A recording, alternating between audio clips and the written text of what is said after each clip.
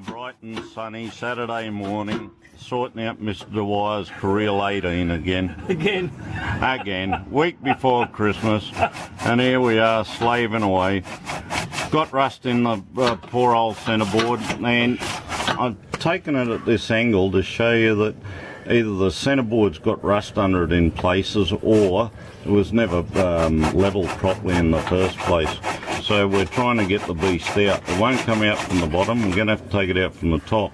We've got to get all the bulges of rust sorted out before we can do it, but so we're going along with the saw at present, just tidying it up so it'll, at least it'll slide up, hopefully. We've got our fingers crossed. Okay, we've pretty well got the keel out. The Toyota jack works a wonder. We've learnt you can't take the keel on a Careel out through the bottom. You've got to take it out through the top. So we've used different pieces of uh, Merbau, cut, uh, cut down, used the jack, jack the front up, lock it with a clamp and then jack the back up and uh, increase the uh, size of timber until we got him pretty well poked out the top. So we're looking good All right, now. we've got it jacked up pretty well. Now we're going to jack the uh, rear or the bottom of the centreboard up a bit more. See if we can get it clear, leave the front of it in uh, about 100 mil and then we'll slide her out. And Bob's your uncle. All that stuff. Okay, we're pulling it. We're about to pull him out. We've got him sitting clear now. Us and uh, or the bottom of it sitting on a piece of polypropylene. Slide out the cockpit, and we've got a bar through the pivot point, and we'll slide her out. Let's see if uh, three old. Oh, we got the beast out. We got him sitting on the little uh, lifter, and boy, is it heavy. So we manipulated it onto there. We got a uh, corrosion in the front, and there's quite a bit there, and I suspect there's corrosion up in this area here too because it's uh, a little uneven, and down the um, from the top as well. So remember, rust grows 16 times the amount of metal it takes off, so it looks quite bad, but um, that's 16 times thicker than the amount of metal that's taken off. Uh, anyway, we'll be back when we do some more. Okay, we've got the keel out and we're having a bit of a sticky beat. Uh, if you see that's the stainless steel pin that was in it. That took us six hours to get out. It was locked in that hole there and we had to drill a series of holes around to um, release it. It just would not come. We were building it with a sledgehammer and a drift locked in and even the holes we had to elongate them uh, so that the, the metal would collapse to get that pin out. It um, was absolutely locked in there. Uh, the other thing to note here, they've, they've used polyester resin and some chop strand mat over gal. They might as well not have done it. Uh, polyester is a very poor adhesive and it could be part of the reason why this is rusted. You know, the, the water's, salt water's got in and sat underneath the fiberglass and um, wouldn't dry out and it's uh, killed the galvanising. Um, we're just going to use some U-Butte epoxy paint, the Aquacote epoxy paint, to tidy this up. We're not going to put any um, um, coating over this. If, if we were, we'd use epoxy with um, woven mat, but we're not going to do that. Uh, better off just leaving it bare gal. Anyway, we'll get stuck. There we go, Brian's cleaning the rust off. Then he'll start to make it look beautiful. We'll come back and have a look. Yeah, uh, come back and have a look once he gets that grinder to it. Right, the board's been all cleaned up now. There's still a couple of spots to go. Uh, there's a little bit of rust and rounding the corners. They'd never rounded the edges up near the top and uh, as a result they were sharp edges. Coatings don't like sharp edges.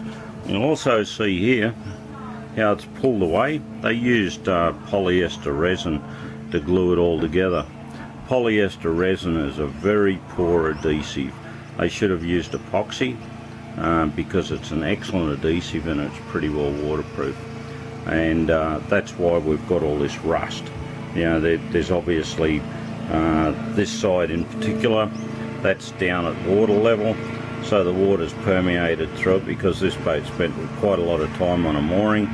So the moisture got in under the polyester and we're able to just peel it off. You can see how it's pulled away even here. But we, will um, feed some epoxy in under there and that'll lock it all back together. even down around the lead. You can see they've drilled this out here and they've used all lead um, and they've filled it all with lead. And down here they've left bits of steel in between. And these are, they've drilled all holes to do this. They haven't used an oxy to cut it out. They've drilled a whole series of holes. So they must have been here for a long time doing it. But the rust had even permeated into here and delaminated and, and it actually bulged. We're wondering why it wasn't sitting well in the case, and that's because of all the bulges from the rust. Anyway, we've got it pretty well cleaned up now. Most of the rust off, and we're going to glass her all back up and uh, tart it up and whack it back in. You'll notice where our hole was. I've actually drilled a one and a quarter inch hole or about a 32 mil hole here. Uh, what we'll do, we'll um, fill that full of epoxy with graphite in it and uh, then we'll drill a three quarter hole in the guts of it. That way it can't corrode, the pin can't lock in again like it did last time. And we're going to build all this surface up with epoxy and uh, uh, glass as well where they just had nylon, bits of nylon. Nylon, you shouldn't use nylon where it's going to be submerged in water because when it gets wet it'll swell anyway so it, it, was part of the problem so from from this point here we're going to build this up so it's the same level all the way up to here and uh, with, with uh, epoxy and double bias cloth and that'll really make it nice and solid and take a lot of the problems away also. Anyway, we'll show you next week when we get her all done. Okay, what we've done here, we've um, mixed some uh, graphite in with the Bote Cote and made it into a nice paste because this is a bearing surface and it has to be built up. So we're using graphite, it's a really good lubricant with a, in epoxy uh, so we've now put this down and then we're going to put some peel ply down. It, it works really well, um, the peel ply over surfaces like this. It'll level it out and you can, you'll see this one down here. You know, it was rough like the other one before we put the peel ply on. So when we're finished, we'll take another little ditty. Okay, where we put the graphite uh, mixed in with the Bote Cote on before, I've now put peel ply over it. And she's fairly warm, it's already almost green. Um, so very very warm sitting out in the sun. So after lunch, we with a bit of luck, we'll be able to pull the peel ply off and keep working away.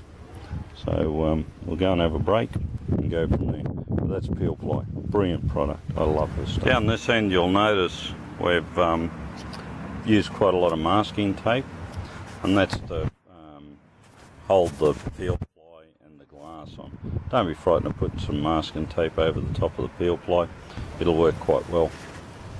So here we are. Uh, we put some graphite into our Bote Cote this morning and uh, build up a layer. This is a bearing surface. Needed to be level with our um, rudder. So we've built it up. It's dry. Know, we've got it sitting out in the sun so the epoxy cooks off fairly fast, plus it'll generate its own heat. So you'll see I've already started to peel this off. See how it's come away? So pull the, the peel ply off the glass and leaves us with a nice smooth finish. Now if that's fairly level we won't even need to do any sanding there. We could even epoxy straight over the top of that if we wanted. Uh, leaves you with a nice finish. Beveled it out. Look how look how smooth it's beveled it out.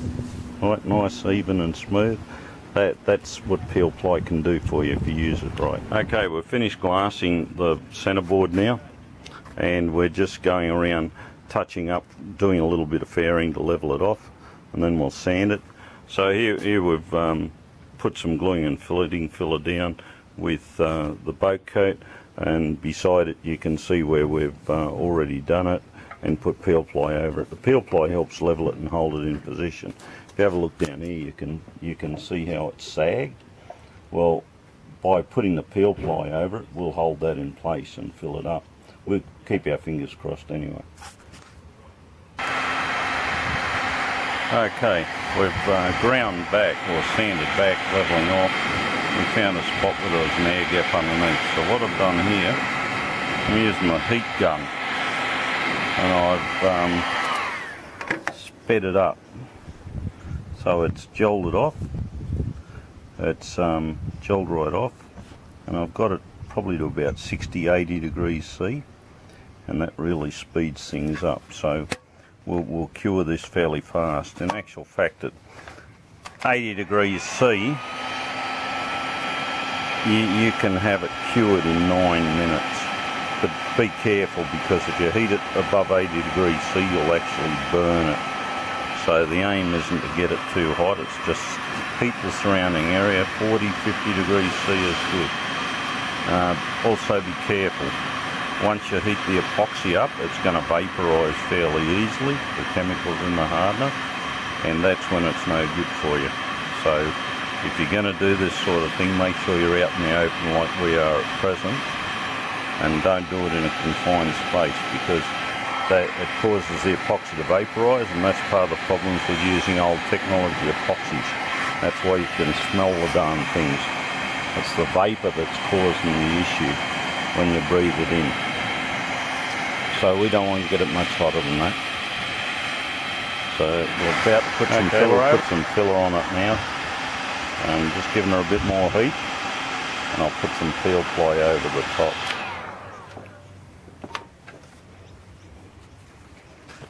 So we've got our bit here. And I'm not even going to massage that out. I'm just going to put that straight on there. Oh, that's nice and warm. And peel ply, use the peel ply to level it. Pull that around. Oops.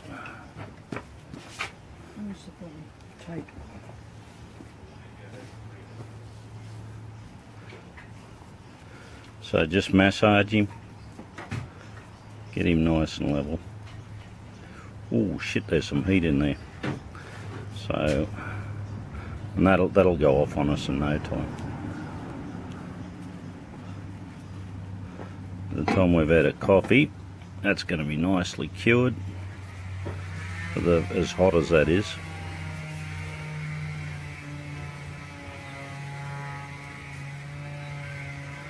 Push it down into it, massage it. And that'll fix our stuff up. We hope. That'll do. Ten minutes later, we're able to pull the peel ply off it. And I just hit it with a heat gun and it went soft again. But it, it's almost hard. Well, just give it a tiz and it- it'll it'll go soft once you put the heat gun on it. Because epoxy softens at 80 degrees C when it's cured anyway.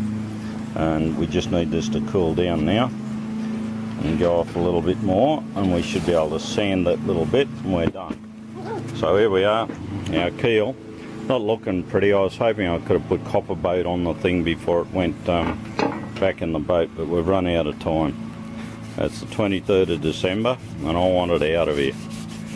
Well, here we are. We've got the uh, centerboard back in. Got a bit of um, tofu each side to hold it in position, and we've glued our pin in. We've used epoxy glue, and the reason I've used epoxy glue is it's fully thixotropic. In other words, where you put it's where it stays, so it mixes easy, one-to-one mix. And I've used it to glue the pin in, so the pin's in, in behind here, and we've got him all gooped up, and it won't go anywhere now. Job finished. Another job well done.